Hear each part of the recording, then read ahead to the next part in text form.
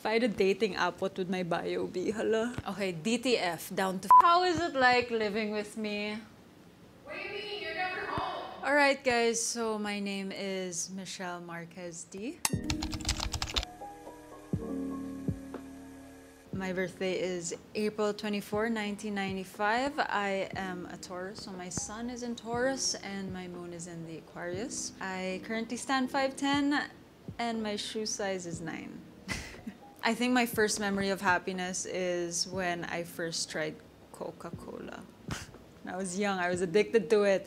I got UTI multiple times just because I would ask or manipulate my yaya to give me a glass, not even a glass, a mug, a beer mug of Coca Cola. This is definitely not sponsored, also. I think my dream job, so far from what I do now, I wanted to be an astronaut before, or a scientist, or a marine biologist, and dami. But if anything, I really think that I would love to be a film director also, or a creative behind the camera. Of course, it's pasok pa naman because it's not what I do now, but it's something that I would love to pursue in the future, other than everything I mentioned earlier too. The biggest risk that I've taken is probably joining Miss Universe Philippines 2023 again. For all of you that don't know, I joined last year in the 2022 edition. I won first runner up and was awarded Miss Universe Philippines 2022 Tourism.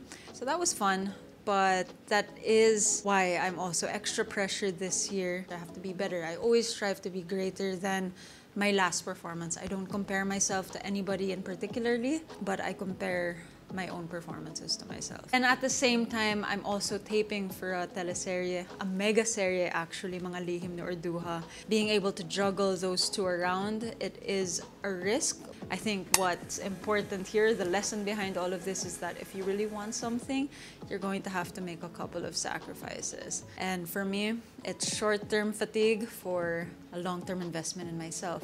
I can already hear my future self saying thank you. I'm grateful for just everyone around me. I, I love appreciating just small things that contribute to why I am the way that I am. Of course, I'm also very grateful for food. Alam yun, I'm a foodie, so I appreciate good food, so I love that.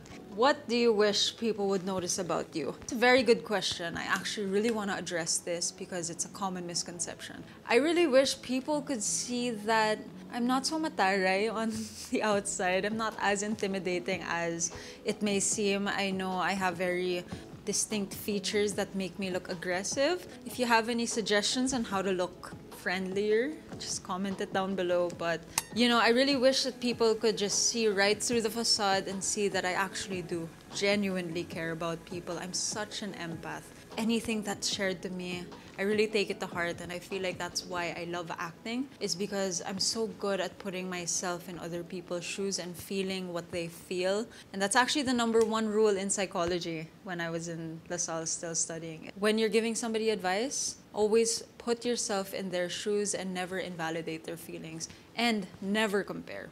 What is my all-time favorite snack? It's not baduy naman, but my all-time favorite snack is actually Pinoy food. Sinigang is what I love. Adobo na medyo malapot yung sarsa. And I know they're not considered snacks, they're considered meals, but if I see it, I will munch on it. Then it becomes a snack. How would I describe my perfect day? I guess I'll just take that literally right now. A perfect day for me is being able to wake up at any time that I want and sleep in because I am so short on sleep right now. Like I said, you're gonna have to sacrifice a few things, and what I am sacrificing now is a good night's rest. I hope you feel that. I really just need sleep.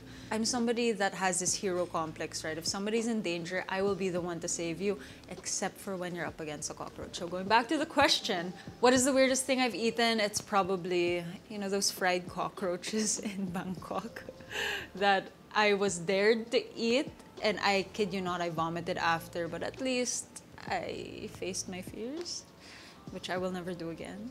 Okay, my personal motto everything in life happens for a reason. It's either a lesson or a blessing. I live by that, I breathe by it, and I feel like it gives me purpose even if I'm struggling in life. What is my life's calling? You know, that's a really good question. I've always wanted to build a platform to really help other people achieve their best self. And that goes with my business side, my showbiz side, most especially my pageant side. I don't think people realize that the reason why I joined pageantry isn't for personal gain, but it's really to build a platform to help people and inspire people and motivate people.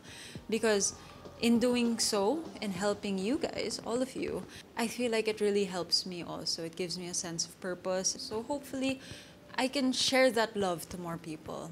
What am I feeling right now? I feel really happy, really grateful. I just shot a series of videos today, uh, work related, Miss Universe related actually, but I am very grateful because I have such a supportive team around me. And without them, I wouldn't be here standing because, like I said, I really do have a busy schedule now. It's just, I'm so grateful. Gratitude is a very important thing that we have to practice, everyone. If I had a dating app, what would my bio be? Hello? First of all, I don't have a dating app, just my Instagram DMs. Char. If I did have a dating app, it would be nerds only. Adrenaline junkies are welcome. Uh, I'm attracted to. Uh, that's a good question. Bubalong ko na lang. Sige. Uh, I'm attracted with looks, but personality will make me stay. Bagay ba yun sa bio? Parang boring kong tao, no? Okay, DTF, down to feed. What's different from then and now? How far back was then? You know, I'm constantly evolving. Everybody constantly evolves, but I'm just gonna put this in the context of before becoming a public figure. I have never been in comfortable in front of the camera, actually. I've always loved being behind the camera. That's really my safe space. That's where I'm comfortable with doing. I'm just a creative, but prior to actually being a public figure, I was so chill. Like people always comment on my calmness and my chillness, but that's just who I am. I'm not trying to be boring or anything. I guess it's just how I was brought up. I always think before I speak. I'm trying not to offend anyone. I'm more of a listener, definitely, than a talker.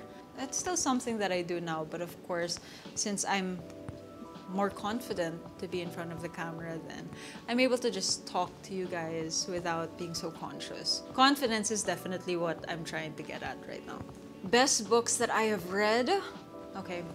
Subtle Art of Not Giving a Fuck, Mark Manson. Atomic Habit by James Clear. The Law of Divine Compensation by Marianne Williamson. In the Company of Miracles by Regina Dee. So that's my grandmother. I love those books. Oh, and The Daily Stoic by Ryan Holiday. Ah, uh, you're living with Rian? How is it?